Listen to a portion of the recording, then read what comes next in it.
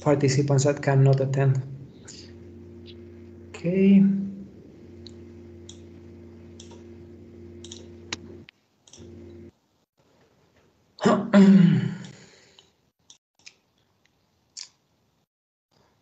Hazuki, uh, when you want, you you can allow everybody in. Okay. Um. Yeah, it is 4:30, so I'm gonna admit everyone.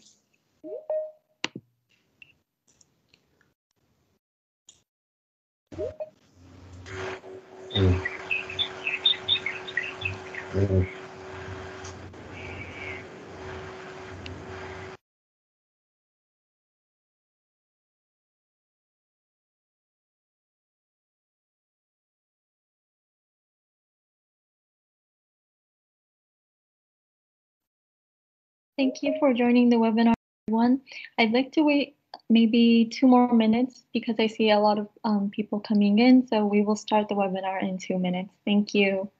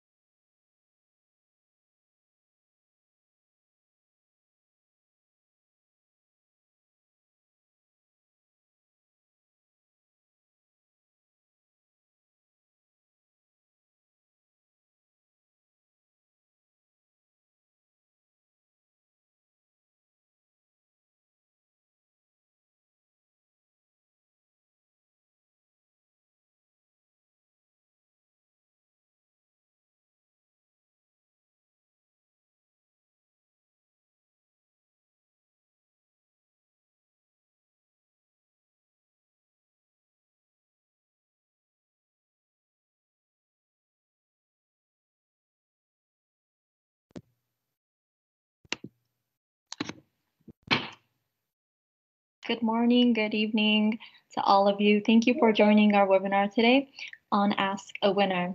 This is one of the webinars on the series we are doing for the Access to Space for All initiative, and it is our pleasure to have you here. My name is Hazuki Mori of the United Nations Office for Outer Space Affairs. Before we give in, I'd like to first talk about logistics. So, First of all, I'd like everyone to turn off your cameras and microphones. I want all the speakers to be able to show their um, faces on their cameras and just use their microphones. So to all the people who are joining in, please make sure to keep your cameras off and your microphones on, uh, microphones off, sorry, make sure they're all off. And second, um, we have a chat.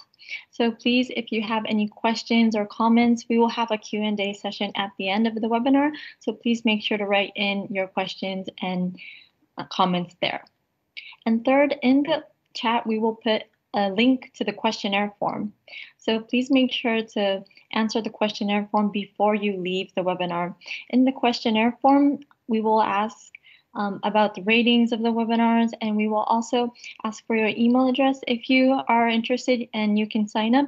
And we will send you um, information about webinars and activities that our office will be doing. So yes, please make sure to answer the questionnaire form for us. Okay. Next, here is the agenda for today. We have three remarks from the different permanent missions in Vienna. We have the permanent mission from Costa Rica, Jordan, and Kenya. After that, my colleague Jorge will explain about the Access to Space for All initiative, which we are doing in the office right now. And after that, we will have the exciting part, which is bringing in the past winners of our program. So first, we will have Nabil Ayub from Jordan. He is our first round winner of drop tests. Second, we will have Agota Simon. She is the fifth round winner of drop tests and from Romania. Third, we will have Victor Hugo Ayerdi Bardales, who is from Guatemala, who is the Kibo Cube second round winner. Fourth, we will have Merlin Renan Cole. Um, he is the first round winner of the Chinese space station opportunity, and his team is from Switzerland, Germany, and China. And last but not least, we will have Trisha Lynn Louise LaRose, um, who is also a first round winner of the Chinese space station opportunity. And this team is from Norway, France, the Netherlands, and Belgium. And at the end, we will have a roundtable Q&A with the winners. So as I mentioned earlier, please make sure to write in your questions and comments in the chat and we will answer them all in the end. Okay, so now I am pleased to introduce our first speaker, who is Miss, um, who is the permanent mission, who is the ambassador of the permanent mission of Costa Rica, His Excellency Alejandro Solano Ortiz. Mr. Ortiz, you have the floor.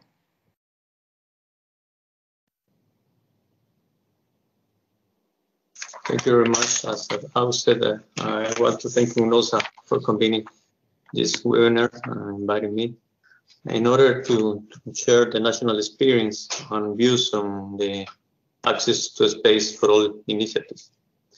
Basic principle in the space-related activities is the full access for the states with an approach of knowledge and technology sharing. Let me share some activities where Costa Rica has been involved in cooperation under this initiative.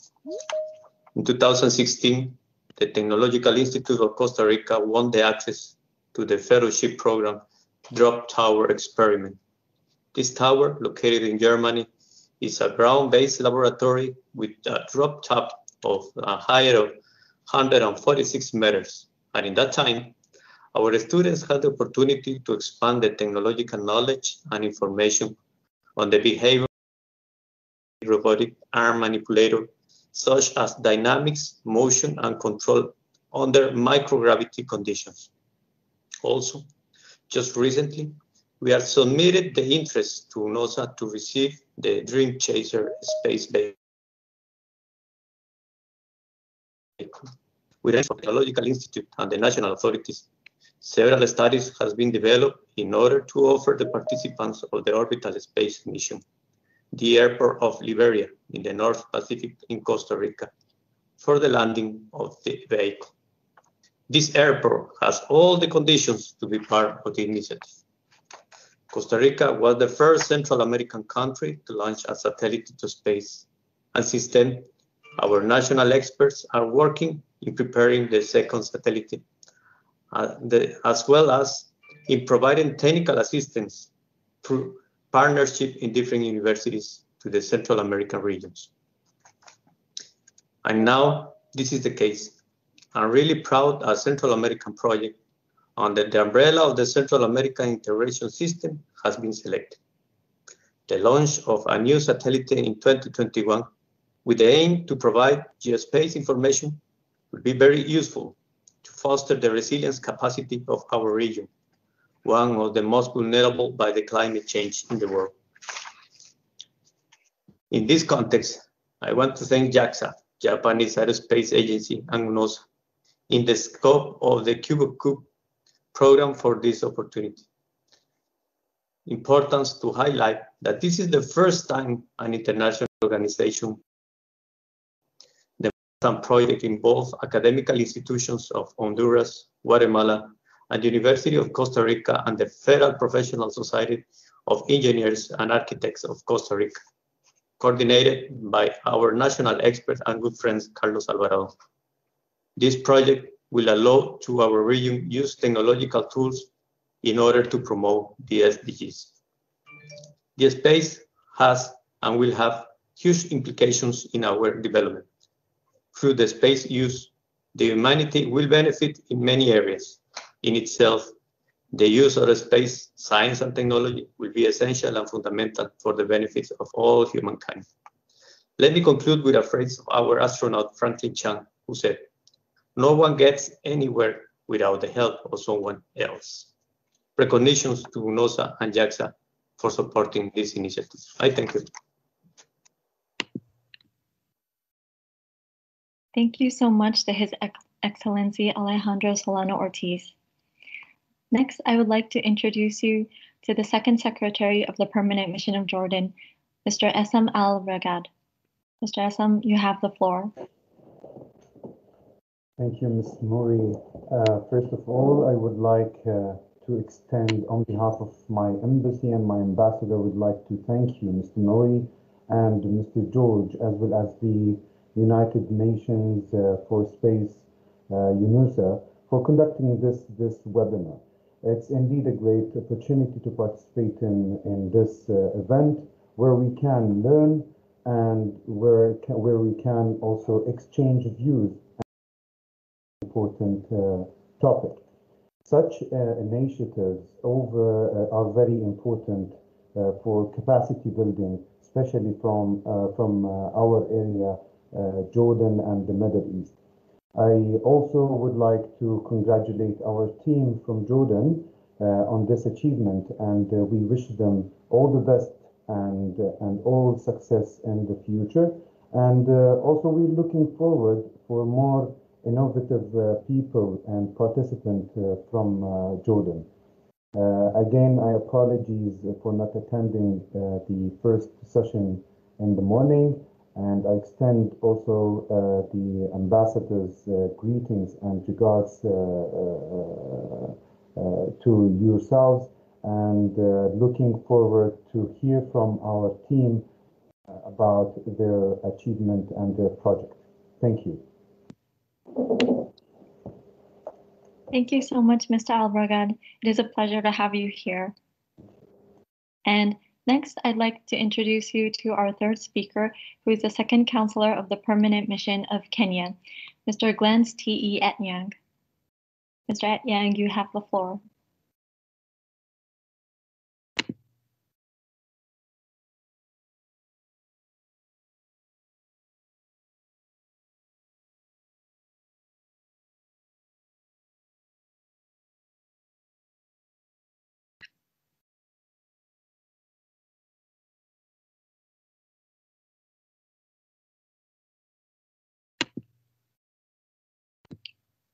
Um, I think we're having some technical issues right now, so um, I'd like to bring this to a later part of the session.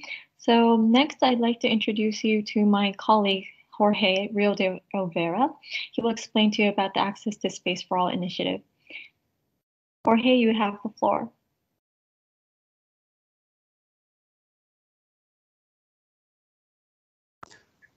Thank you very much, um, Hazuki, for uh, for the introduction. Really, really appreciate here. Let me share my screen. I hope you can see it now.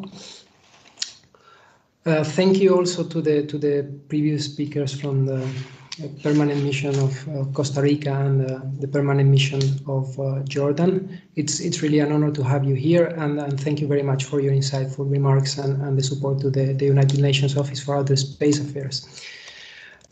Um, good day or, or good night, depending on, on where you are. Thank you for joining us today. We have put a lot of effort in making an attractive program for you today, and, and uh, definitely we hope that you're enjoying it. I'm Jorge del Rio Vera, and I'm going to present uh, the Access to Space for All initiative. First, I would like to step a little bit back and, uh, and give you a little bit of context of the initiative. So, UNOOSA, the United Nations Office for Outer Space Affairs, is the UN dedicated space entity that provides services on the legal, policy, and technical side of space activities.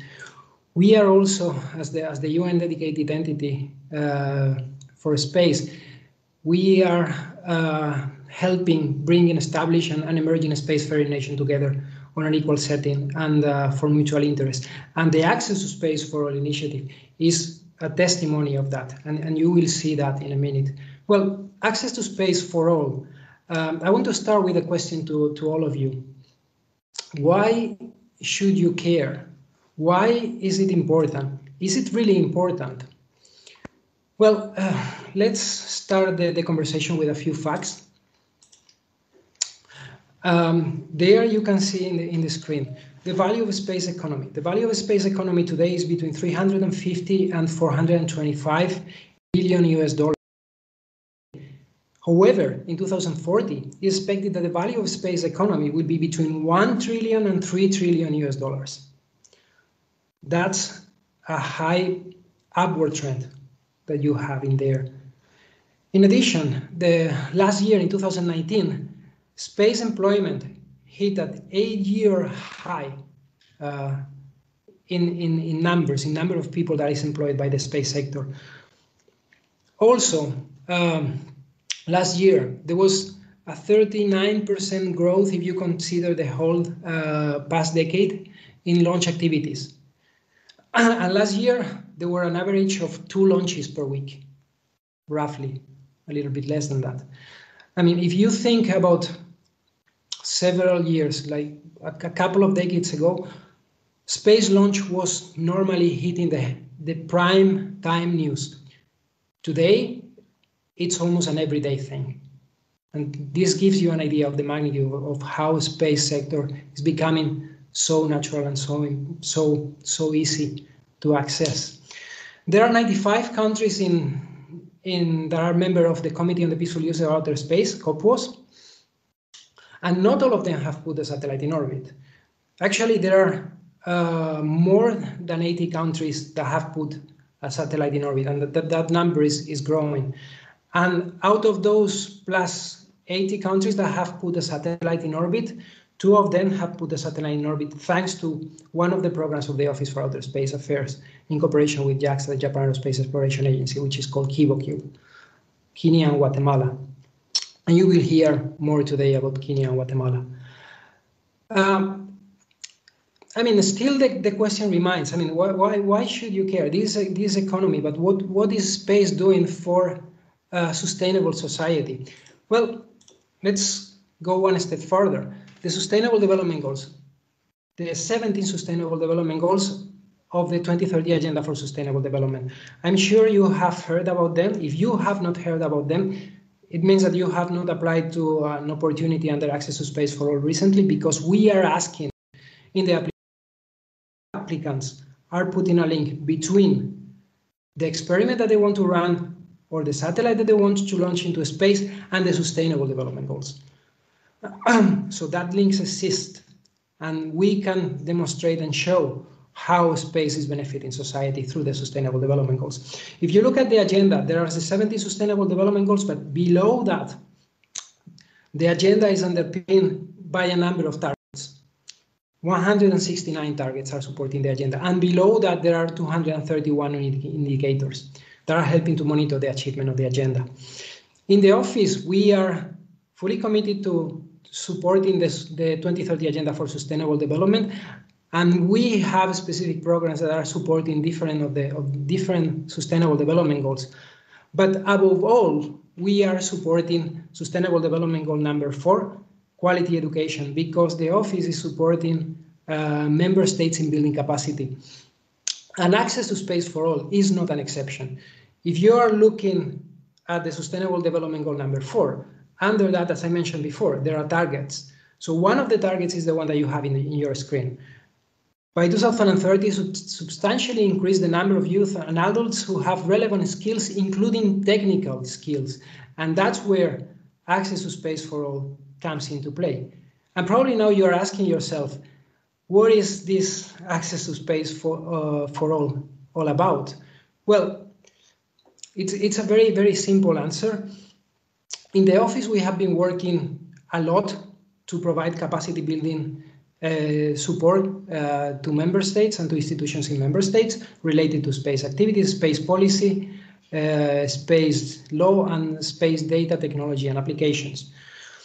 We have been doing that for almost 50 years now. There was a program space application that was established in 1971.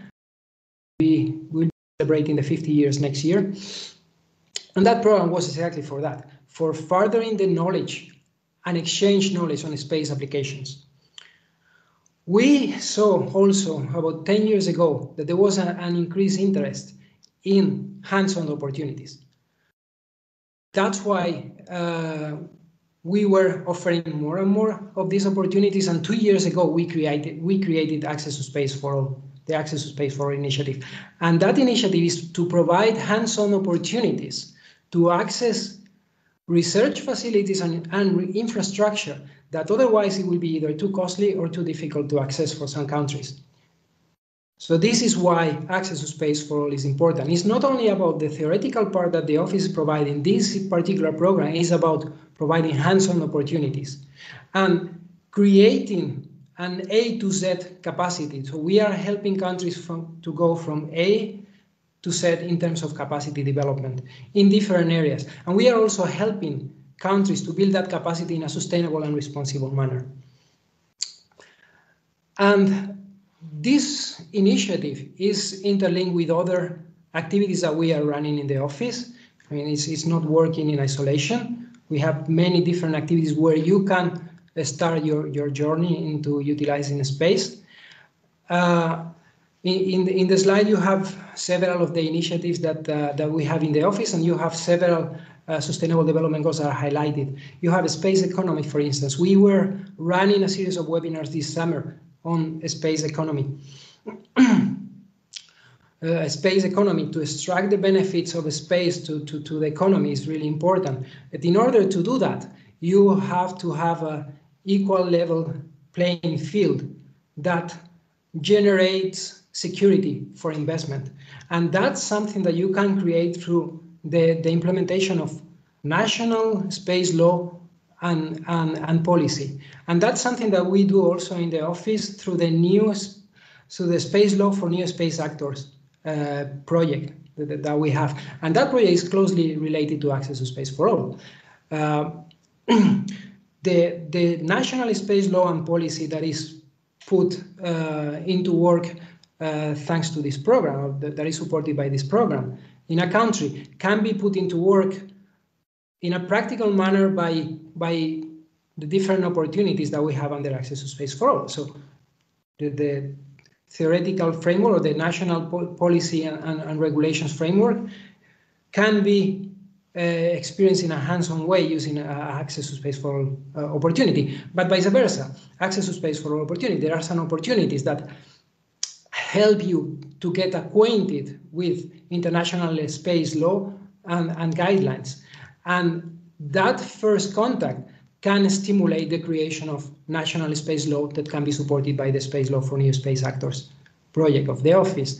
And we are doing all that, and we are supporting uh, other societal aspects. We are supporting space society. We have projects that are, are, space for women to encourage the participation of women into space activities. We have another project that is called Space for Youth, which is stimulating the participation of youth in uh, space activities.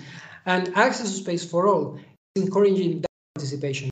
We are highly encouraging the participation of women and, and youth in the program to the point that having an inclusive team is a selection criteria. We are valuing very positively that, that there is an inclusive team that is taking part in the opportunity. And that provides extra points. So how does the initiative look like? There in the screen, you have the three different tracks in which the initiative is divided today. Um, if, if you look there, there are blue dots and, and, and red dots or red donuts in each of the different tracks. And actually the exploration track has uh, only, only red donuts. the tracks are, def are defined to build capacity from A to Z in an incremental manner gradually acquiring that capacity. For instance, if we take the hypergravity and microgravity track, we have opportunities in ground, which are easier to run experiments there. And then you can move gradually into orbit, and we have opportunities in orbit. We have a, a cooperation with Airbus on Bartolomeo, which is a platform that is installed in the outside of the International Space Station.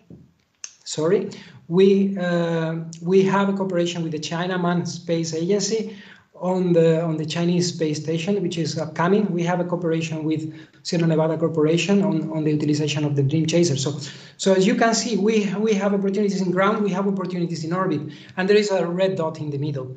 It's because we consider that we are missing a step in this gradual ladder leading to the capacity that we want to develop, which is being able to develop payloads in microgravity in orbit.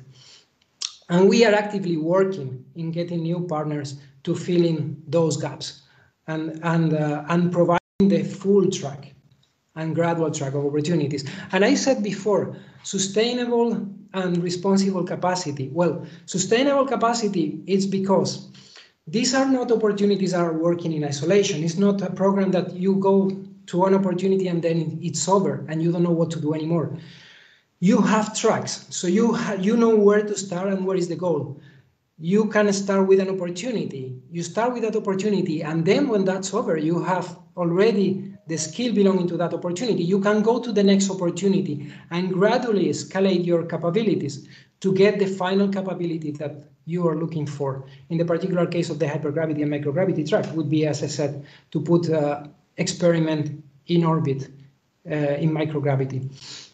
We cannot do this without partners, and that's why you see many different logos in the slide. We in the office, we don't own any infrastructure. We don't have any facility that you can access, and, and we are cooperating together with um, research institutes, space agencies, and, and, private industry to provide these opportunities uh, free of charge to you. if you want to uh, to know what's what's open right now, well, we have an opportunity that is currently open, uh, which is the opportunity of the, deploying a 3U CubeSat into orbit, which is accessing space with Vega C, and the opportunity closes on the 4th of April 2021. On top of that, we are also uh, organizing uh, a series of webinars, and the, the, the webinar we are in is, is an example of that, to help building successful applications and we are putting all that material accessible online, so you can actually revisit when you are building your application. We have the, the, the, webinar of today Ask a Winner. We will have a webinar next week about artificial intelligence and access to space for all. And we are planning others exactly to help you developing the, the application. In addition to that, we have webinars devoted to the individual opportunities. We had one on drop test last week. Uh, and we have also other webinars that are related to other opportunities that are not Access to Space for All, part of the Access to Space for All initiative because they are not hands-on opportunities. But for instance, the, the introduction to the postgraduate study on nanosatellite technologies fellowship program. It's an opportunity that we have with the university, well, the, the Kyushu Institute of Technology in Japan, which is a, a renowned university. And in there, you have the opportunity for those who want to pursue engineering studies and, and learn how to build satellites to get a full uh, full-blown scholarship free of charge. Uh, and and we will have a webinar on that on that uh, on the 7th of, of December. So as you see, that there are many pieces of the puzzle that to actually capacity. If we go at the activities that we have been running this year, despite the COVID-19 pandemic, we have continued carrying out the, the, the, the, program, the Access to Space All initiative. And you see that there, the, the people that won drop test this year, the, the Universidad Católica Boliviana La Paz, uh, that are working in a extruder, a 3D printer that utilizes a novel technique that only works in microgravity. And they are developing this extruder right now as we speak. That team uh, that you, you see there in the, in the, in the picture has been also involved in the development on a low cost of a low-cost ventilator that is helping Bolivia to fight the COVID-19 pandemic. And I'm not claiming that this is because of drop tests. What I'm saying is that these opportunities that are under access to space for all are allowing you to develop skills that are transversal. Science, technology, engineering, mathematics, all those skills can be utilized for winning an opportunity, which I mean means already that you are very skilled and you are winning a, an, an international competition and put those skills to work to something different. In the particular case of, uh, of Bolivia, they built a, a low-cost ventilator for the COVID-19 pandemic. It's, it's, uh, it's really a wonderful example. We also had, and we will have uh, um, Victor Ayerdi from, uh, from Guatemala. Uh, the, the, launch of the, of the Guatemalan satellite Quetzal-1 that happened this year in April. The satellite has been already six months in orbit. And there you have in the screen uh, a graph on the decay on the satellite. I was mentioning before, sustainable and responsible uh, capabilities into accessing space. We are very much concerned about space debris and the space debris mitigation guidelines and the guidelines for the long-term sustainability of outer space activities are very important for us. I mean, we don't consider those as guidelines. We are asking the participants in the different opportunities to actually implement those, and we want to see that implementation. I mean, the, the example of the of the KiboCube uh, of uh, of, of uh, Guatemala is a great example. They are learning about orbital decay thanks to the data that they are gathering from this uh, CubeSat, and, and, and, and that's that graph is the proof for it. And that knowledge can be used in future satellites in the country, helping implementing, as I said, responsible behavior in the utilization of outer space activities. So all this is connected. Um, I, I like to ask you, and I jump on one slide, I would like to ask you to, to help us, and to help us in a very simple manner. We want that these opportunities are reaching those who can benefit from it.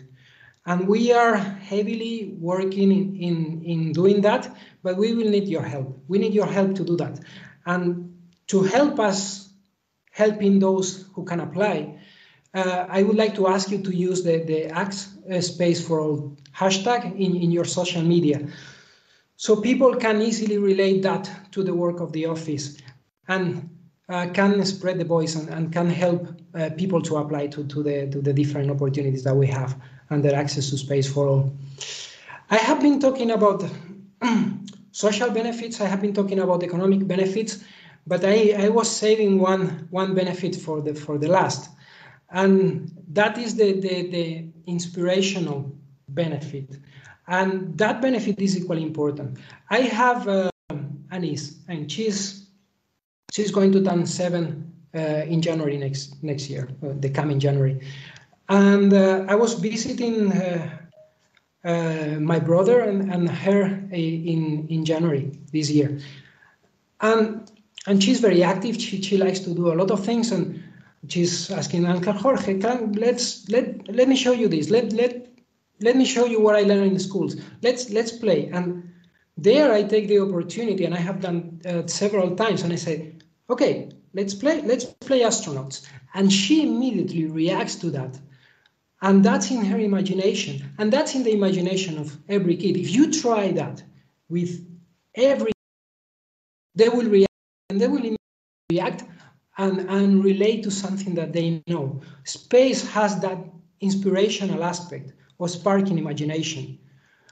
And access to space for all is helping that. How? By providing the opportunity of having role models actually in the country. So those kids don't have to look to other countries to say, okay, well, yeah, there is a country down there that has put the satellite in orbit, and I would like to do the same. No, no, no, no. The examples would be in the in the same country, and that has a lot of inspirational uh, capacity it's already it's already there it's just sparking it more and from sparking the imagination of a little kid to think about space and to actually build a satellite run an experiment in microgravity is just a few years away.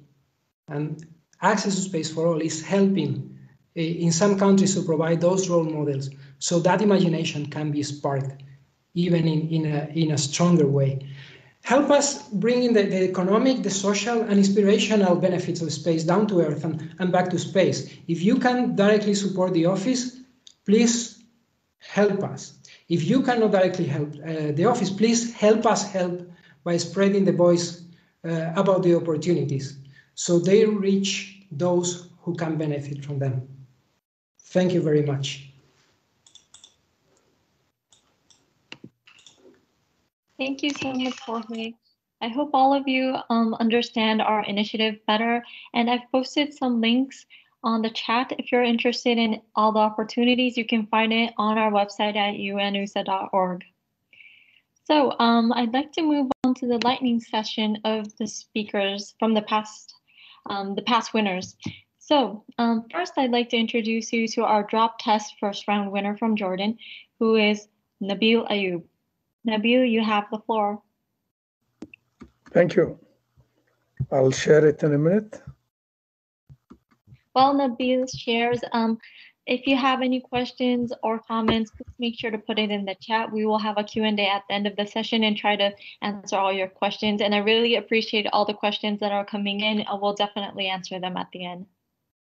Okay, thank you. Nabil, go ahead. Thank you very much. Uh, well, as uh, said, uh, good morning, good evening, depends where you are in this world. Well, we were the first uh, round winners of drop tests, uh, and uh, that was in 2014. And uh, at that time, uh, I was at the German Jordanian University. I was a dean of the graduate studies, and I had a team of three students, Farah Ghaith Shishani, and Hisham Wanni we uh, applied uh, for the competition and uh, lo and behold we won the competition and we went to UNOOSA we went to ZARM, which is in bremen. It's a drop tower, tower test facility. Uh, it has a height of 146 meter and the active part the free fall part is 120 meters if you look at the simple equation of h equals half gt squared, you can directly calculate the time of free fall, which is uh, less, just less than five seconds. So any uh, phenomena that we shall study has to occur within that time window of less than five seconds. Uh, in the figure below, the, this is the team. Uh, we have uh, Thorben Könemann, uh, who the uh, mentor and he was uh, the chief engineer there looking after the facility. In addition, we have the engineering team, I have the students with me, and I have the representative of UNOOSA, uh, Mr. Miyoshi. Now, how did this idea came about? Well, one of our students, Farah Atour, she's a team member, found out about it through the Deanship of uh, Student Affairs at the German Jordanian University, in which they knew about the opportunity through the Royal Jordanian Geographic Center. So it was all through the uh, Royal Geographic uh, Jordanian Center, and they told us uh, about this opportunity where UNOOSA shared the competition. Then uh, came uh, Farah with the idea and with another two students. And the idea was as follows. Uh, the idea of the project was about investigating whether a tuned mass damper can be used to, in order to reduce the unwanted instabilities of an electrodynamic tether, which is a long conductor wire that is attached to the satellite it can act as a generator or motor from its motion through the Earth's magnetic field. Since the satellite experienced fall, the microgravity environment was needed in order to test the experimental outcome. Of course, in this case, The whole idea is that the tether, in this case, the very thin wire which is suspended from the satellite, as it navigates over the Earth uh, in the Earth orbit, it will pass through the electromagnetic field of the Earth. In this case, you will have a Lorentz force on the wire. This Lorentz force will not be a uniform force. It will change from one place to another on the uh, in the orbit. Correspondingly, the uh, thin, the tether will uh, be subjected to all kinds of different forces, and therefore there will be wobbling and there will be oscillations. And these are, uh, are very much unwanted oscillations that may deorbit the satellite. So Farah and the team came up with the idea, why not to use uh, the uh, tune mass damper, in German Schwingungsstilger. And uh, we, uh, uh, she came to me, she said, I went to so many other faculty members.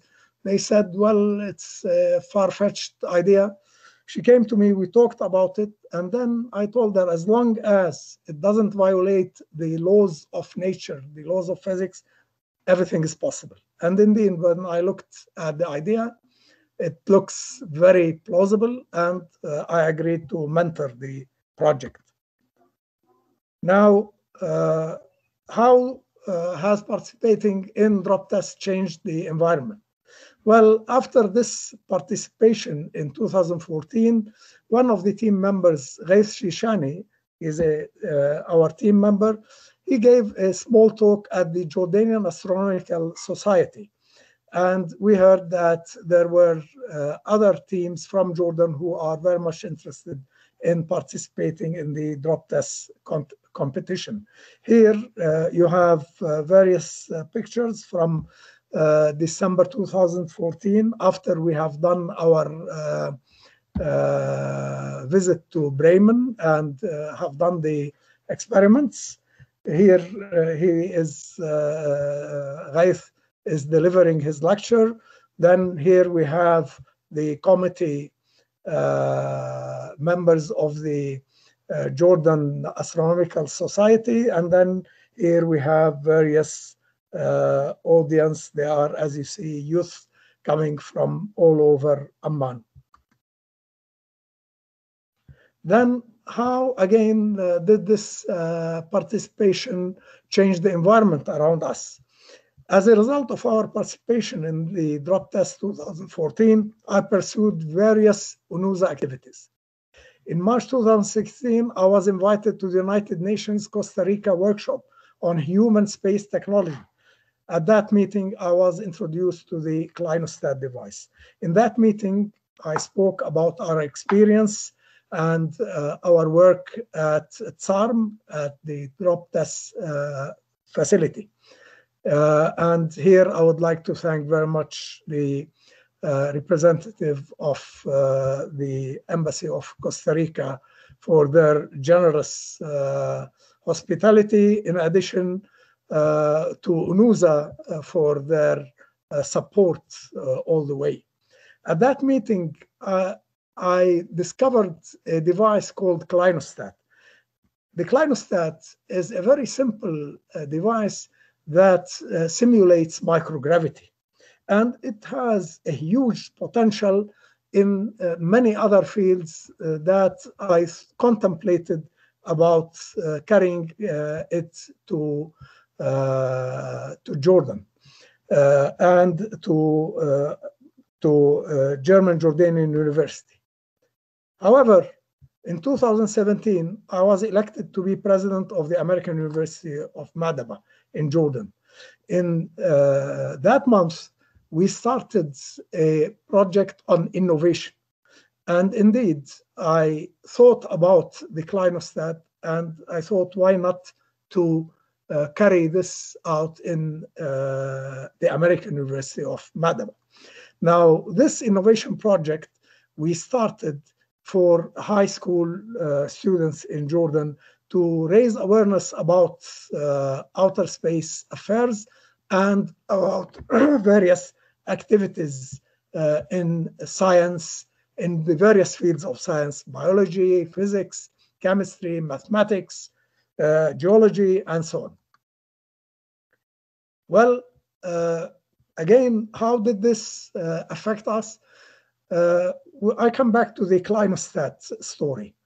Uh, UNOOSA at that time was donating about 50 such devices. However, when I, contact, I contacted uh, Mr. Miyoshi, he told me we ran out of stock of all of these. I looked at the international market, it was costing around $2,000. Then I thought, why not that we manufacture it uh, ourselves in the workshops of the American University of Madaba? And indeed, we have done that. We went through this, and as you see, this is the picture of a three-dimensional uh, clinostat. We have done it, and we started all kinds of experiments on it. And indeed, we were very lucky to get very uh, uh, strange results uh, when we uh, looked at the roots of uh, wheat, of the wheat plant. And we found that under simulated microgravity, the roots would grow 2.5 times more than under uh, normal conditions under gravity. It was a very strange result. Again, uh, we went with these uh, ideas, with the clinostat and uh, other uh, scientific ideas to the high school students. in particular, we went to the uh, King Abdullah II uh, excellent schools in Madaba. And uh, we have chosen many teams there, at least two teams of those that we have chosen. One of them won the Ministry of the Jordanian Ministry of Education competition, and they were able uh, to uh, be eligible to go to the United States. And indeed, they went to the United States and uh, they have uh, subscribed with the International Science and Engineering Fair, and they won third place in space sciences. Uh, and this is a, a, photo of the three young ladies. Now, uh, again, uh, as an offshoot of this participation in drop test uh, competition, in 2018, uh, I was invited by, again, UNOOSA to the United Nations expert meeting on uh, human space technology. You can see a photo here at the bottom uh, right uh, corner. And uh, in 2019, I was again invited to NASA for 2019 Cross Industry Innovation Summit to speak about the innovation initiative at the American University of Madaba. So you can see the many opportunities that participating with the drop test has opened. Now, hopes for the future.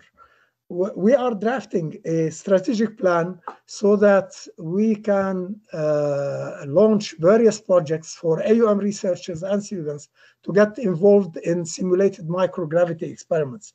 In addition, AUM will reach out to more high school students for outer space awareness and to mentor them on forming teams and get involved in the effect of microgravity on specific phenomena that the students may propose to study. Two projects are being executed right now. Now we are uh, assembling a lab on wheels for the high school students and another uh, project that we already started.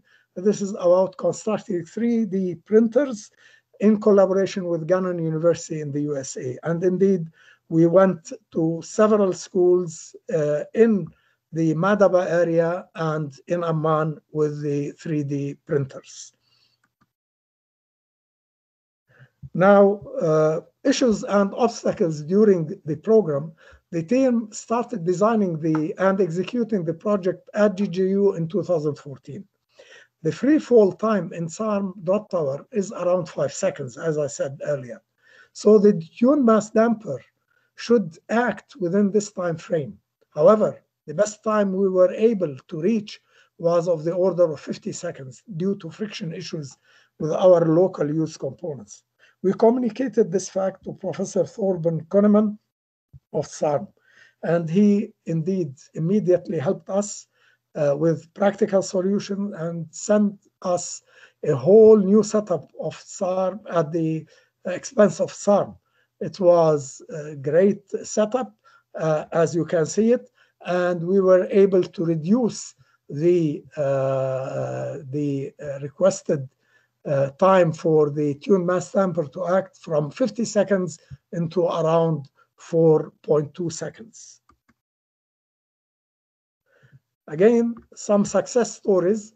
Farah Atur, Atur one of the uh, drop test winners, was so much interested in ZARM Institute that after one year of drop test uh, uh, uh, competition, she applied for an internship for her studies because she wanted to engage in more research that is related to space applications. She spent around six months and she is very grateful for this opportunity that led to having the chance to work side by side with their engineering teams, which I showed you the picture at the beginning.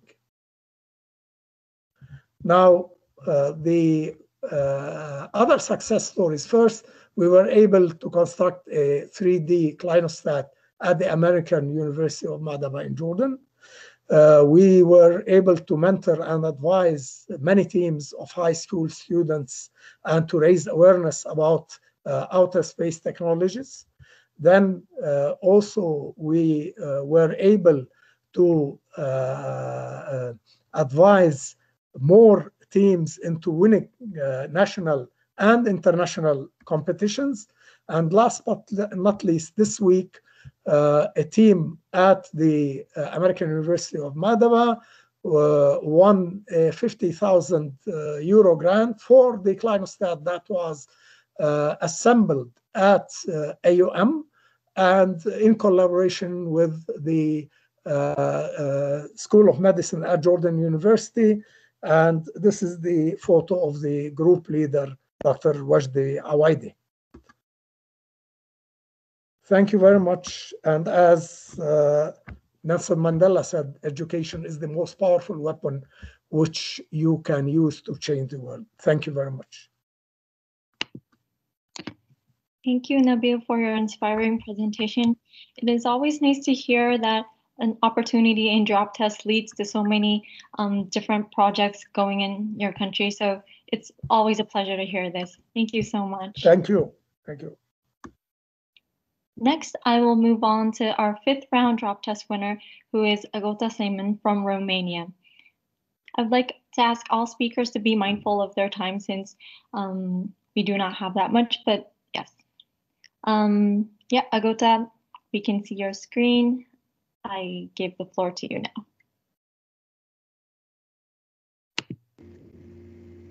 Uh, thank you, Hazuki, and for UNOOSA's invitation. Hi, everyone. Today, I would like to provide you a brief insight into our drop test project from 2018. Uh, this project made uh, possible the, uh, for us to investigate the interaction of laser irradiated medicine droplets uh, with different uh, target surfaces under uh, short-term microgravity conditions two years ago, actually, on this exact day, we were reviewing our setup, making some last minute alignments, since on the next day, our very first experiment started at the Bremen Drop Tower at a gravitational acceleration comparable to one millionth of that encountered at Earth's surface. So you might ask, uh, how did we get to know about this opportunity? It's a funny story uh, how we found out the Drop Tower Experiment series. At the beginning of 2018, I was participating at the hypergravity workshop organized to celebrate the first decade of the large diameter centrifuge at ESA ESTEC. And there, Daniel Garcia Yarnoz held a presentation about the Human Space Technology Initiative activities of UNOOSA and a couple of weeks uh, after the after his presentation and after this workshop, um, uh, we received an email from him in which he told us that our research topic is very interesting and suggested a couple of open calls for project proposals. And one of them uh, actually was drop tests. I had uh, less than two weeks actually to, at that time to form a team and to write the project proposal. But I somehow I knew that this was a unique opportunity and I didn't want to miss it. And now I'm extremely happy that I had the courage and the energy to do it. So why we, did we apply to drop tests? we have already studied the interaction of laser irradiated medicines with different target surfaces in hypergravity conditions uh, within uh, ESA's thesis program. And actually, we always had in mind to continue this research in microgravity too. So the idea originates from that experience in hypergravity and also from our terrestrial studies carried out at the laser spectroscopy and optics group of the National Institute for Laser Plasma and Radiation Physics uh, here in Romania. So probably curious how has participating in uh, such a project and program changed the environment around us. First of all, uh, in the half-year development phase, we have made progress in our scientific and technical knowledge. We have formed new connections too. Firstly, within our student team, because not all of us uh, we knew each other. And secondly, with uh, UNOOSA and ZARM experts. Following the project, I, I, obtained an optics and photonics scholarship from SPIE, and I am very grateful for the recommendation letters offered by my PhD coordinator, Professor Mihai Lucian Pascu, and the Deputy Scientific Director of ZARM, Dr. Thorben Könemann. I, I also had the opportunity to present our project at different national and international conferences obtaining the Best Student Presentation Award at uh, an international conference organized in my country. Last but not least, uh, actually this project led to new ideas and new project proposals, such as the one which I have proposed for the Orbit Your Thesis program of uh, ESA, alongside with uh, the nine-member team and my PhD coordinator as endorsing professor. Our team reached the finals, but after unfortunately we didn't get selected. However, uh, later on, we have been contacted by an ESA representative to try to implement our idea into a new proposal. And now I am part of a new team uh, led by my professor having a couple of old members, but also international collaborators. And uh, this new team is uh, going to develop a setup to be sent on board the International Space Station, maybe one or one and a half years. So we are really enthusiastic about this new project. The subject uh, is a bit changed. Uh, we are not uh, going to study um, the interaction of droplets medicine droplets with surfaces, but uh, we still have we will have droplets, but uh, we will uh, try to investigate how they are uh, actually their coalescence. Yes. So before I finish this presentation, I would like to share with you a couple of pictures from uh, DropTest 2018. Here is our student team while preparing the experiment. I also would like to show you some uh, photos from the control room because it was very impressive for me, uh, especially when we were waiting uh, for the drop capsule to detach. It was really, um, really interesting moment. More pictures during setup installation and alignment and, and some funny moments too from this campaign. Finally, in the name of our Drop Test 2018 team, I would like to thank you for your attention support received from the following institutions and companies. Thank you. Thank you so much, Agota, for your interesting presentation. It's really great to see that Drop Test led to new opportunities and new connections for you. Thank you so much. Thank you. Next, Um, uh, before I move on to KiboCube, for drop test, we had a winner in the morning session from Costa Rica. So if you're interested in the presentation that he did, um, we will post all the information of the webinar, the presentations and the recordings probably next week on our website. So please make sure to check that out for Costa Rica. Okay, next, before we um, go to Victor, who is the second round winner of KiboCube, I'd like to bring back um, the remarks from Mr. Glens T. Etyang, who is the second counselor of the Permanent Mission of Kenya. Kenya is the first round winner of KiboCube. So I'd like to give the floor to Mr. Etyang now.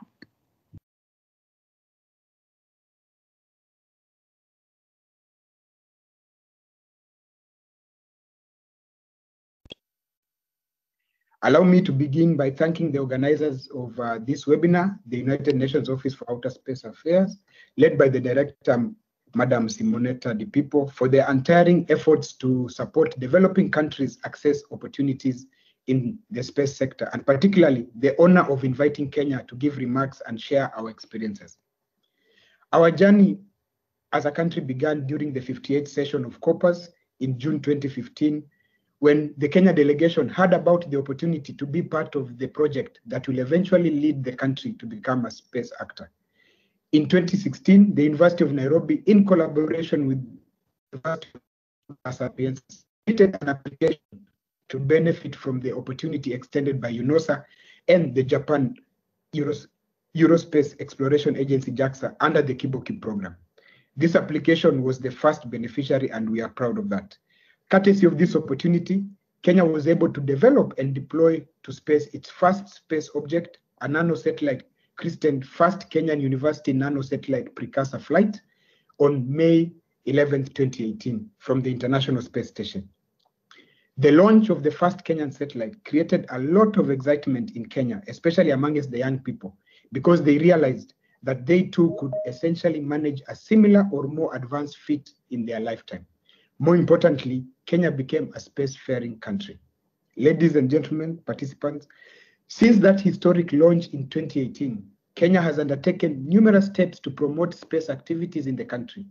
Key among these was the establishment of the Kenya Space Agency in March 2017 to promote, coordinate, and regulate space-related affairs in the country. The agency has since developed and recently launched its strategic plan that will guide its focus for the next five years, including strategies to promote the uptake in the utilization of space technology for planning and decision making. During the launch of the strategic plan in October this year, the agency also used the opportunity to award five beneficiary universities research grants valued at US dollars 10,000 each for nano satellite development. This was informed by the need to continue building on the foundation of our first satellite launch of 2018. The five universities are expected to develop a model nano satellite with the aspiration of moving to a production of a launch model. We welcome support to this initiative. It is good to highlight here that the interest that came out of all this, some of the students are enthusiastic with space matters and have joined the Space Generation Advisory Council, which brings together young professionals and students passionate about space from across the world. The Kenya Space Agency has also continued to organize numerous capacity building programs, which also raise awareness of space activities from the country. For example, in November 2019, the agency organized a hands-on training course on education program for technical advancement satellite development, which was offered by UNISEC Global with support from Nihon University in Japan. Participants from 10 local universities were taken through basic subsystems of satellite development, essentially the same process that is used to develop any satellite, laying an important foundation for skills development on satellite technology.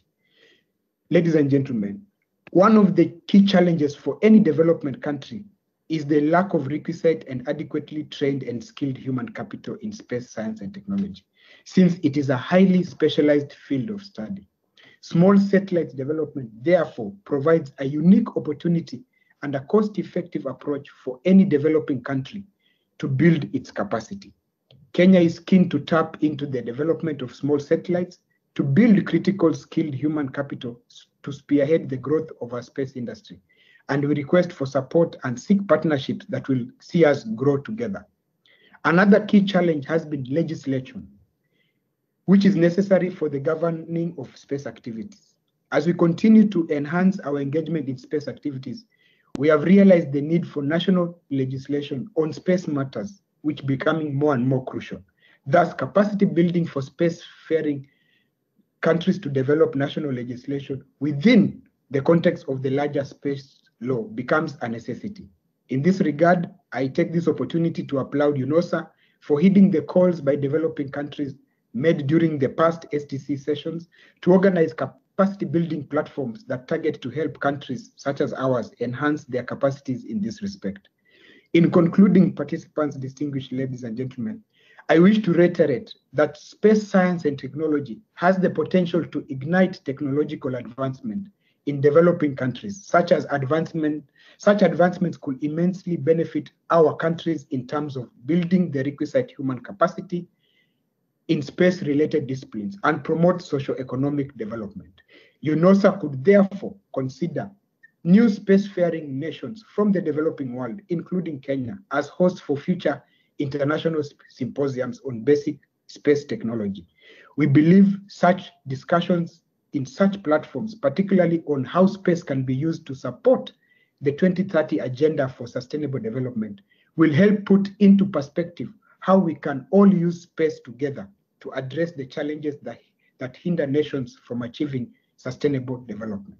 Finally, thank you all for listening, and I believe in all these endeavors will go a long way in anchoring the development and growth we have witnessed in our country, and I believe in all the developing countries that have a nascent space industry, leading to the reality of space to of access of space to all.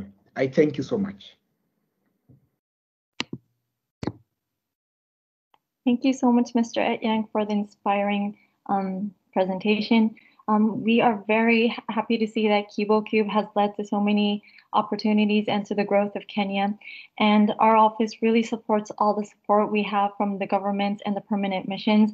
Um, we really would like to extend our thank you to the ambassador of the permanent mission of Costa Rica and the permanent mission of Jordan and Kenya for being here today. Thank you so much. Okay, I'd like to move on to our winner from KiboCube, Mr. Victor Hugo Ayerdi Bardales, who is from Guatemala. Victor, you have the floor. Thank you very much. Um, sharing my screen. Yeah, we can see it. Okay, thank you. Good morning. Uh, thank you very much for your invitation. My name is Victor Guayerdi. I work in Universidad Valle de Guatemala, and I will talk to you about our uh, CubeSat Quetzal 1 uh, uh, project. We started this project in 2014. In 2017, the CubeSat was selected as the winner of the second round of the CubeKeep program. And the mission of the CubeSat is to test a multispectral sensor prototype, introducing the aerospace field in, in Guatemala, developing human capital, and supports the SDGs number 5, 9, and 17. Um, during the project, we have uh, about 100 persons involved.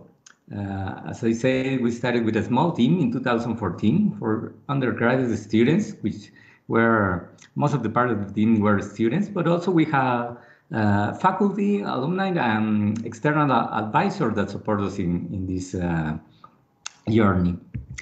Um, you can see in this slide the evolution of uh, our design of the satellite from the first model in 2014 to the flight model that is currently operating in space.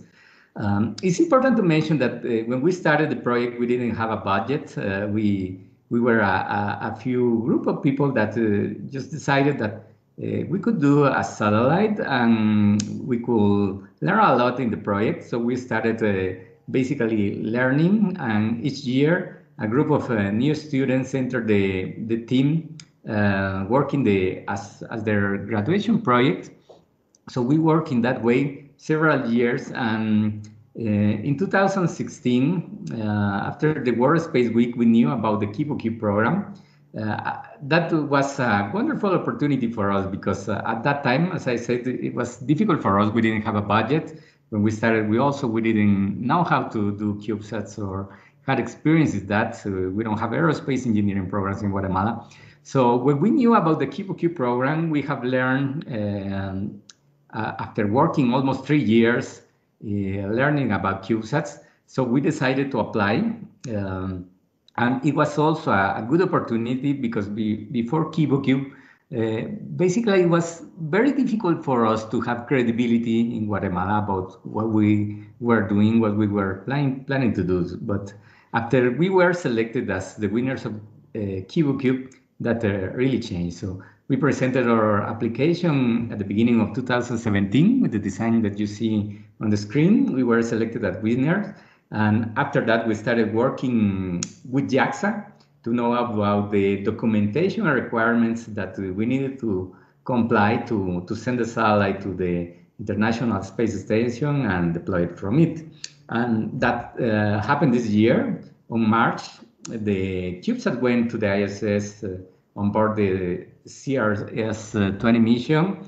And about uh, one and a half months after that, the satellite was deployed from the Kibo module of, of the ISS.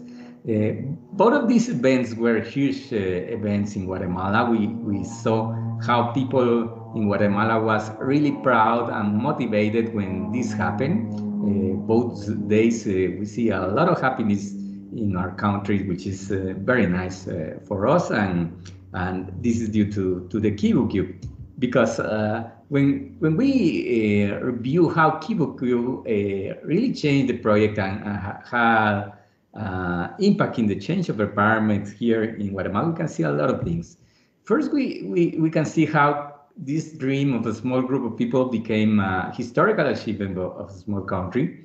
As I said, uh, both days uh, of the um, um, launch of the rocket that transported the CubeSat and the deployment from the ISS were huge events covered for from all the newspapers in Guatemala. And people were really, really happy about that.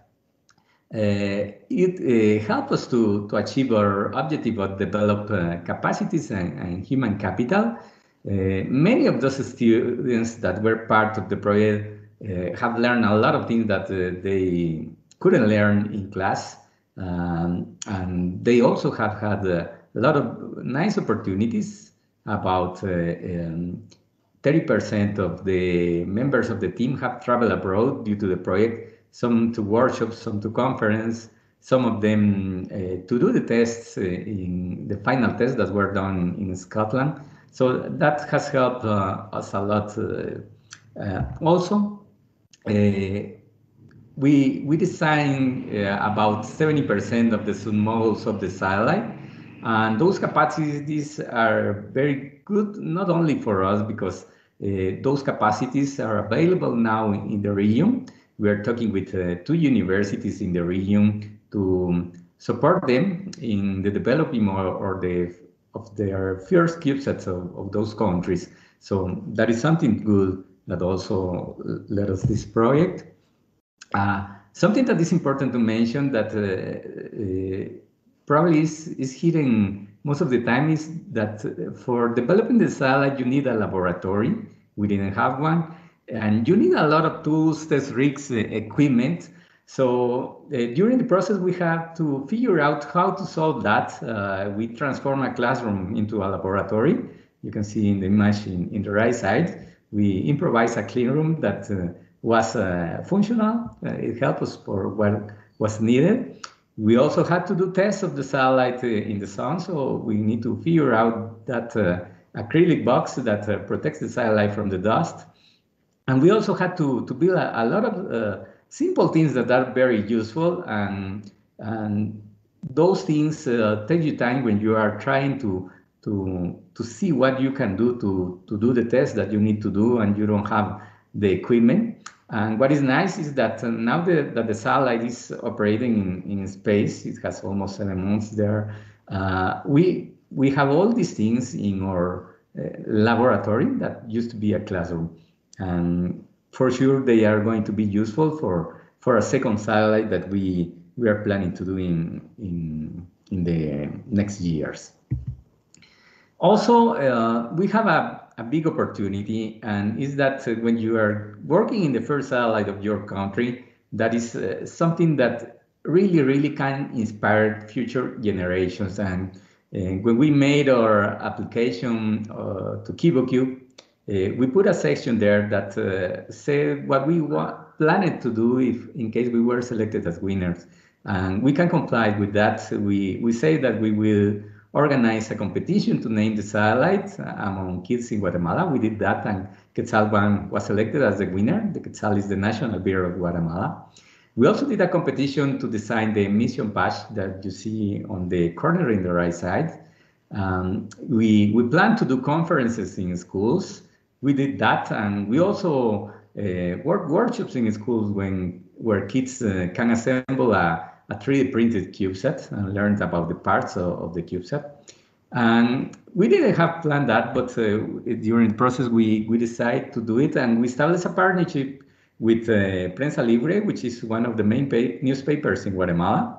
And we have a, a biweekly article that we work together with them during two years. We have a total of 55 articles, as the one that you see in the corner in the left side.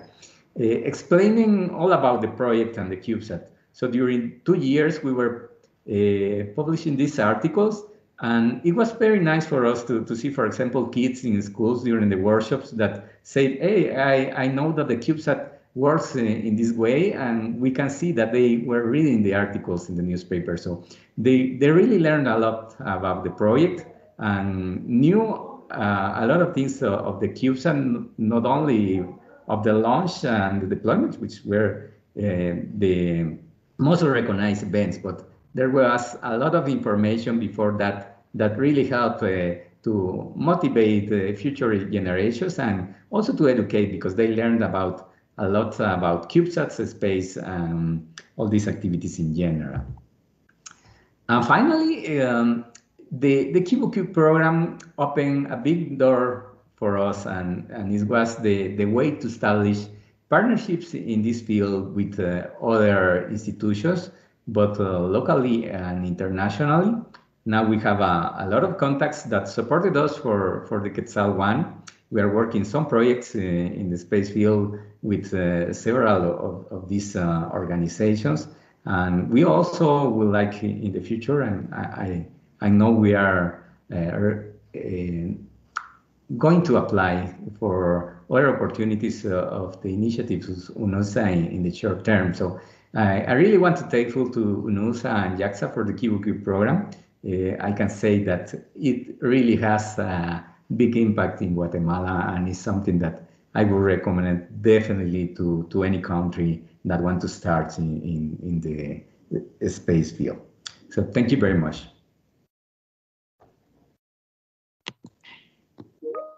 Thank you for your inspiring presentation. I think there were so many um, really useful advices that um, applicants in the future can steal from this presentation.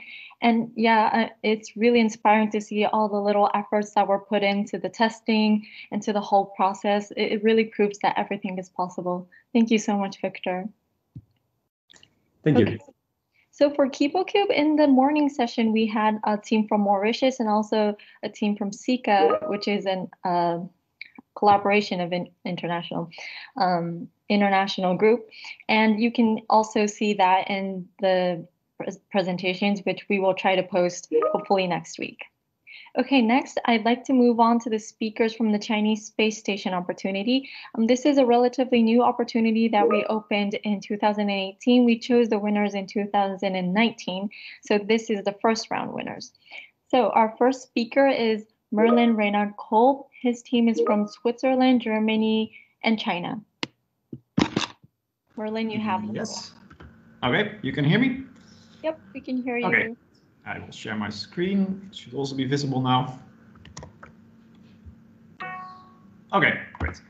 So thank you very much for this opportunity to talk about the Polar 2 experiment. So Polar 2 is a collaboration between institutes in Switzerland, uh, Poland, Germany, and China. I myself am from um, the University of Geneva in Switzerland. I'm the project manager of this project. And um, I will talk a little bit about the history of the Polar 2 project uh, to give a bit of insight of how this happened and how we got on the Chinese space station. Um, then um, why we need to be on the China space station, and finally the current state of the project and how things are progressing since we got this very nice opportunity. So to start uh, with the history of Polar 2, well, as the name suggests, Polar 2 is the successor of a mission that was called Polar, which was originally just a European mission, um, collaboration between Switzerland and Poland, uh, which was started in 2005, so a long time ago. And there, the idea was very simple. There were people who had a very good idea to do some interesting astrophysical measurements that had never been done before. They had the idea, they knew how to do it, they knew how to measure this thing. Uh, but what they required was a relatively small space-based detector, 30 by 30 centimeters, 25 kilos. And building this detector also is not particularly difficult, but you need to find an opportunity to get it into space. So the Polar people uh, back in that time when I was not yet involved. Um, spent six years going past NASA, ESA, the Russian Space Agency, the Indian Space Agency, and finally, after six years, there was an agreement with the Chinese Space Agency, uh, who agreed to place Polar 1 on the Chang'e 2. Chang'e 2 was the second Chinese space lab, um, sort of the predecessor of the China space station. And um, when I joined in 2015, things were going a lot faster because the moment that there was a launch opportunity known and people knew this thing was actually going into space, people are a lot more motivated, things go fast, and you have a goal to work towards. So when I joined in 2015, things were going fast, and in 2016, we launched this mission um, successfully as part of Chang'e 2. We got very nice scientific results. Um, the mission ended in 2017, 18, roughly. Um, and since then, we don't really work on polar anymore, but we still we have the spare detector, which you, for example, can see in the bottom left, uh, which is now in a museum in China. Well, it's two or several musea in China actually, so it's quite nice uh, as a thing to bring to the public. What we learned from Polar was that basically the thing that we wanted to measure, which I don't have time to go into detail to, but basically we want to measure something which is the polarization of gamma rays that come from very big explosions in the universe. And this polarization that we wanted to measure turned out to be much smaller than what it what we thought it would be, what the theoretical community thought it was. Which meant that with polar it was difficult to see something, and we learned that we need an instrument which is 10 times more sensitive.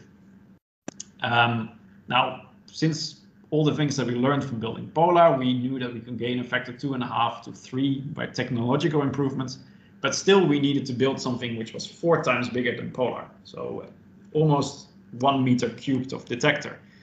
So this is big, um, and it's very difficult to find someone who can put this in space and who can meet all the requirements. So we started thinking about this in 2018, and then we were already looking around what we could do, we were already talking to our old friends at the Chinese Space Agency. They didn't really have a clear opportunity for us to, to put it on the China Space Station, even though we knew it was going to be a possible opportunity. Um, but they did point us out that there was this very nice opportunity organized by UN OOSA, uh, where we could apply to put our instrument on the China Space Station. Now, for us, this was completely ideal. First of all, because of our heritage with uh, the, the agencies and secondly, because it's basically the only place where we can do this kind of mission. Because this Polar 2 instruments, uh, the minimum size we can get it to be is uh, 60 by 60 by 70 centimeters. So it's very big. It will be 150 kilos. It consumes 300 watts, um, produces 30 gigabytes of data per day. So all of this to do on a satellite mission or anything is extremely challenging and would cost you tens of millions, probably more. Um, we are, for example, aware of an experiment similar with the same science goal that is being developed by NASA, different groups in the US, and they have a collaboration of, I think, 100 people uh, and a budget of tens of millions of dollars, uh, whereas we are a group of 10, 15 people and we work on uh, a significantly smaller budget. So basically what this allows us to, when we can place this on the China space station, is that we can do very amazing science, like at least relatively, uh, with a small group of people, and we can manage this on a short time scale. So for example, our PhD student that we hired here a year ago, thanks to this opportunity, he will probably be able, able to see this thing launched even, which creates a lot more motivation uh, when working on a project. It's not really fun to work on a project that lasts for 15 years and you don't actually know if it's actually going to go anywhere. So this is one of the very nice things that we have is concrete. We know it will go into space. Uh, the moment you have a launch opportunity, when you know it will go into space, it's also much easier to find funding to actually build your detector um, because the moment that we got the great news that we were selected, we basically got the funding from at least the Swiss side practically the same day. Uh, then we could go ahead and start building things that we could hire a PhD student, that we could hire uh, some technicians. So in Switzerland, we're going very fast now. We are building the prototype. Um, our colleagues in Poland and Germany and China are applying for the money. They in the next few weeks.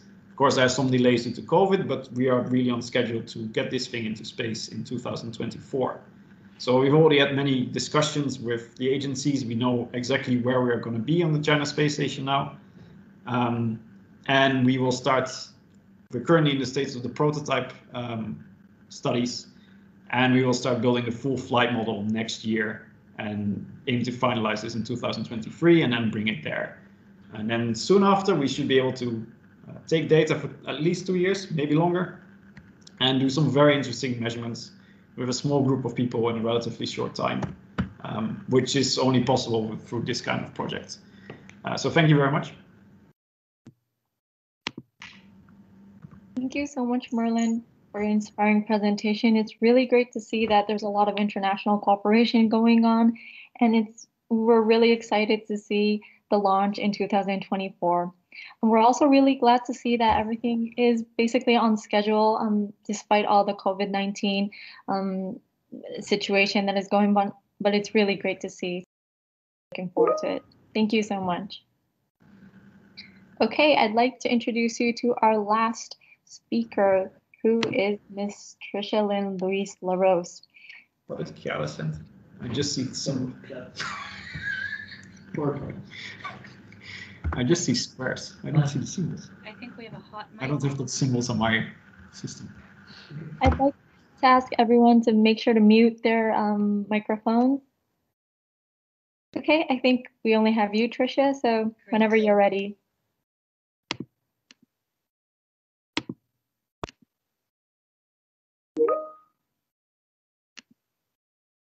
Great. Um, hi, everyone. My name is Dr. Trish LaRose. I'm the principal investigator for uh, Tumors in Space. I'm based in Norway, and uh, this is a collaboration between Norway and the China Manned Space Agency under the coordination of UNOOSA. Um, included in my uh, team are 14 international collaborators from four different countries, including France, Belgium, the Netherlands, um, Norway, and then, of course, um, China of our collaborators, we have hundreds of years of combined experience, which is quite impressive, um, and more than 1,000 peer reviewed scientific articles. So the question is, how did uh, we or I become familiar with um, this opportunity? And in fact, as a principal investigator, it, it, this project is really driven uh, by me. Um, so it's my research um, goals and hypothesis, and then the team, once the scientific goals were realized, began to form around that. Um, so at the time I had the idea for tumors in space, I was in fact a postdoctoral scientist at the WHO Uh, the Agency for Cancer in Lyon, France. And I've been involved in the space industry now since 2008 uh, via the International Space University in France, uh, which is the only uh, university in the world that's dedicated solely to graduate education in space. So, being within that WHO and UN construct, um, I was, of course, very familiar with the work of UNOOSA, And simply by doing an environmental scan, I came across the website, which you see here, um, the orbital platform, and the opportunity for the uh, China space station. Uh, and we simply um, applied. So, why do we need this experiment? The fact of the matter is, there is no cure for cancer. There's treatment, there's early detection, but there is no cure. And we are spending billions of dollars doing the same type of research over and over again. We're no closer to finding a cure, and we continue to treat our cancer patients with exceptionally toxic methods, including radiotherapy um, and chemotherapy. So there really must be another way. And it's my opinion that it is far too late to be thinking out of the box. It is time to think out of this world. And you can see here on this schematic, um, all previous cancer experiments in space have been conducted using two dimensional cell lines, which is denoted here by the letter A. And if you follow this arrow um, to the right side of the screen, you'll see different um, biological models that are increasing in uh, sophistication sorry, for biological re relevance, ending, of course, with uh, the human being. So we as a team are sending human organoids into space, depicted here by the letter B, which is by far the most physiologically relevant um, biosample ever used to conduct cancer research in space. In fact, organoids are so physiologically relevant that they mimic the structure and function of the host tissue. So we are now conducting the most complex, sophisticated cancer research experiment in space and the longest at a 31 day mission, all previous experiments were on cell lines uh, for a maximum of 14 days. Um, what we're looking for is we're looking for the mutational signature of cosmic radiation and also to see if microgravity slows or stops the growth of cancer. Of course, this type of preparation requires years of groundwork. Um, this work has never been done, which means we must build um, our spaceflight hardware from scratch. And what's really unique about this opportunity is that the China Space Station is allowing and, in fact, is evaluating experiments based on the cutting edge or paradigm shifting nature. And so, this opportunity really allowed us to push way outside of the box um, and to do something that had never been done before and to take a really big risk um, in doing that. So, how has this changed the environment around me?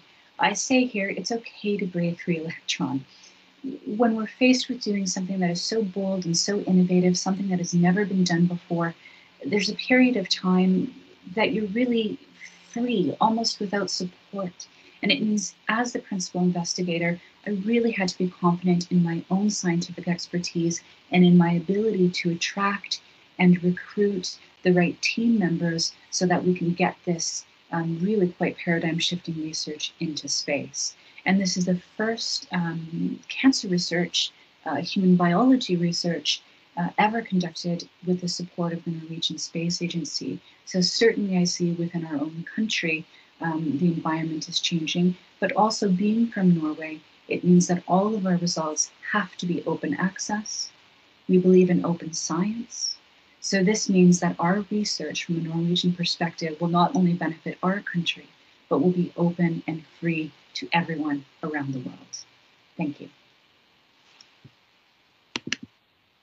Thank you so much, Tricia. It's really interesting to see what um, uh, like cancer research that can be that relates to space. It's really inspiring. Thank you so much. Okay, um, I know we are over the time, but I'd like to start answering the questions in the Q&A. If any of you have more questions, please make sure to send them in the chat. Um, if you are interested and want to directly contact any of the people who have been speaking, um, as I mentioned earlier, we will post their presentations on our website hopefully next week. And I, uh, I believe a lot of them have their um, uh, email addresses on their presentation, so maybe you can connect them direct, um, connect to them directly.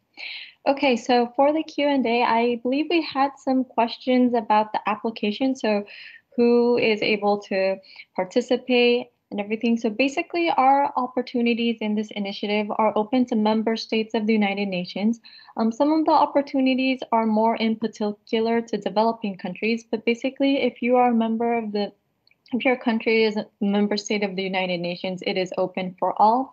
Um, for example, drop tests, um, there are some um, reg, uh, rules, not rules. There are some um, restrictions about um, if you have to have a master's degree or whatever. So it really depends on each um, program. So um, we have everything on our website. Please make sure to see them.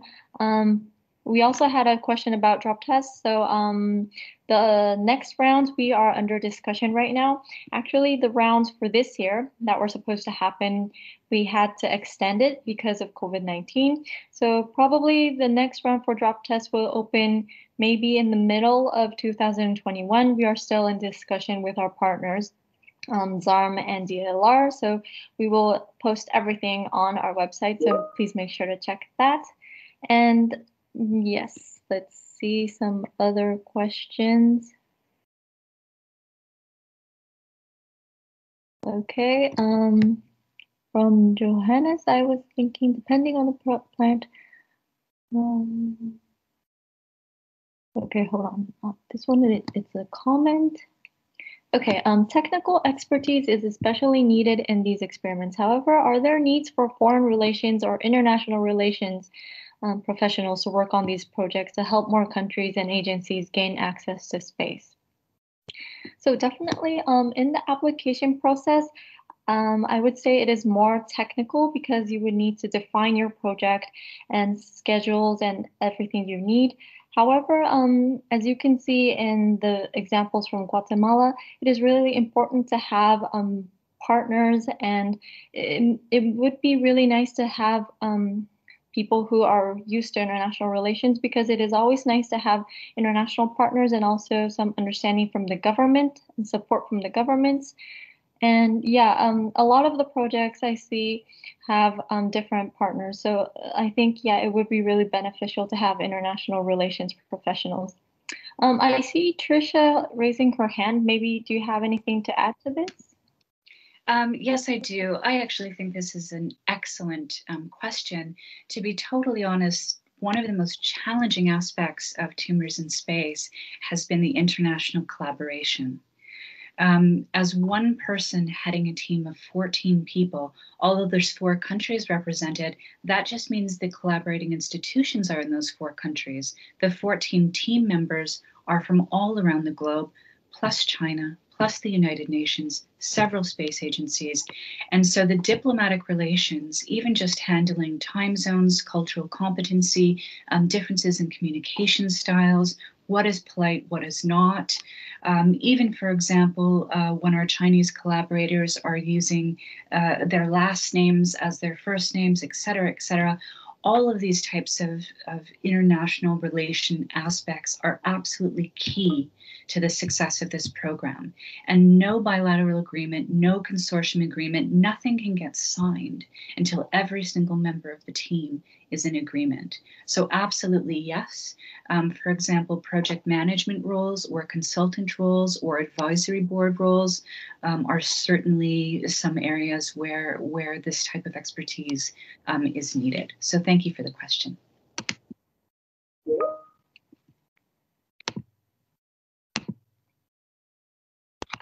Thank you, Tricia. Um, maybe I can ask one of the team members if how important this international cooperation, international relationship part was. So maybe um, if any of you have any experience or comments on that. Um, maybe since there's a lot of um, international cooperation in the Chinese space station, may I ask Merlin how he thinks of this one? Um, so the international collaboration part for us is okay. Universities that we collaborate with is relatively straightforward because we all know each other and uh, that's quite simple. Of course, working with the Chinese Space Agency is quite different, um, but still, it's usually technical discussions, etc. So that that is not the most challenging thing. I would say the most challenging thing for the international part is, um, which we don't have experts on, but we would like to, is the export and import regulations, for example. So any kind of electronics that we need to ship to China, we cannot do it. Um, and we have to understand how, what we can buy, what we can, we can import from China, what we can export to China. And all of this is very complicated. And for this to have experts would be great, but this is unfortunately we don't have the budget for those kind of things. Um, that is a challenging part. Uh, the collaboration itself, I would say it's it's get tricky at times, but it's something that we can manage. Thank you so much, Merlin. Oh, I see Tricia with her hand up. Go ahead, Tricia. Um, Yes, thank you. Just one other comment, and then unfortunately I have to um, leave the, the webinar. But um, I agree, Merlin, with what you're saying. In fact, one of our early investors in Tumors in Space was a technology transfer office at the University of Oslo, which means we have help with commercialization aspects, import export control, um, because this is really a specialty that no one on the team um, has. And this was an investment um, so yes, that is a crucial component as well. So I, think, Justin, just to reiterate that all of these administrative, um, legal, policy, communication aspects are absolutely key to the success of, of international collaborations, particularly among space agencies, and particularly in collaboration between a, such a diverse range of um, countries who have very different uh, political structures. Thank you. Thank you so much, Tricia. Maybe I can ask also Victor, since he, I know you have worked with so many different partners from so many different countries. If there's anything you can add about that? Yes. Um, well, um, I recommend that uh, you can participate in, in events like this webinar where you uh, know about people that are working in space. Uh, UNOOSA has also uh, other type of events uh, normally in the year, so I would recommend to, to be pending on them. Uh, I have made uh, several of the contacts uh, through through those opportunities, and and you can find that a lot of people working in, in the space field needs to work with, with other partners, other countries. So I'm sure those are uh, points of contact that uh, can help to, to start those um, uh, partnerships. in our case, we, we didn't know how to, to do CubeSats when we started. So we, we started looking for partners and you also found people that uh, uh, once uh, in the same position as you in the past. So like us, we, we were we willing co to collaborate and also support as we received support from other partners. Thank you so much, Victor. I'd like to ask everyone this question. So maybe um, Agota, do you have any um, international cooperation and all the other skills that could help? Uh, in our team, we were only Romanian team members. Uh, the international collaboration was uh, with uh, UNOOSA and uh, ZARM uh, members which was uh, really straightforward in our case. And and of course it was really great opportunity to connect uh, with these people. And and yes I, but I, I would like uh, for the future I think it would be really interesting to, to work on projects at uh, even more international level like in the case of this um, this new project, which is just ongoing, uh, for which we have um, uh, German and um, American collaborators. So we are really enthusiastic about it. Thank you, Agota. And may I ask Nabil the same question? Well, uh, to us, uh, it's very important to have such activities it promotes peace in the whole world. It promotes uh, tolerance. It promotes uh, collaboration among nations. And uh, this is very much needed in this uh, time of crisis across the whole globe. Thank you.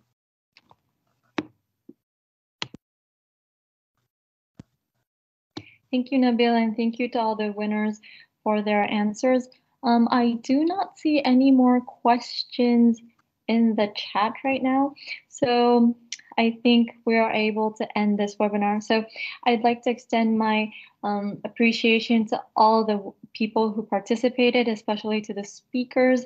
It was really great to hear your stories and I hope everyone is influenced and uh, it was i think it was a positive message to future applicants so thank you to all um, to all the people who were listening in for joining. Please make sure to answer our questionnaire form. Um, it would be really wonderful to have feedback from you. Um, we want to uh, make our webinars better and useful for everyone, so it would be great to hear your voices.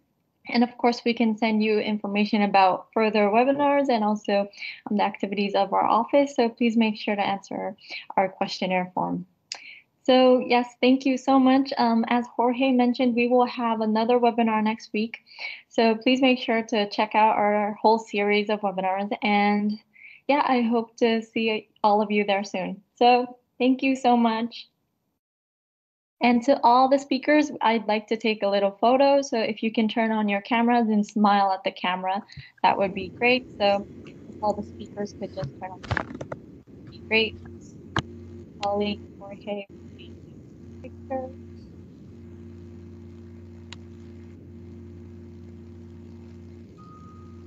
We have everyone.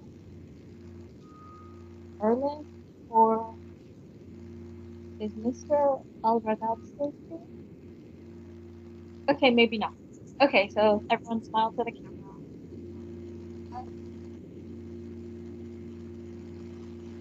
Okay, thank you so much. Um, Thank you. The others will Photoshop everyone and make it all pretty, so no worries.